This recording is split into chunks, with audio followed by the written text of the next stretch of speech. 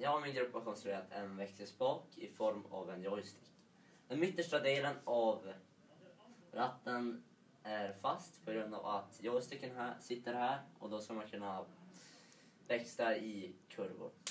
Den yttersta delen av ratten är, eh, kan rotera. Eh, när, eh, när man växlar då ska det uppstå ett klickande ljud. Den ska vara seg. Om man, ska behöva trycka, om man trycker in den och trycker åt vänster, då är det friläge. Om man trycker in den till höger, då backar man. Fördelarna med vår idé är att man alltid har två händer på ratten, så man får mer kontroll över fordonet.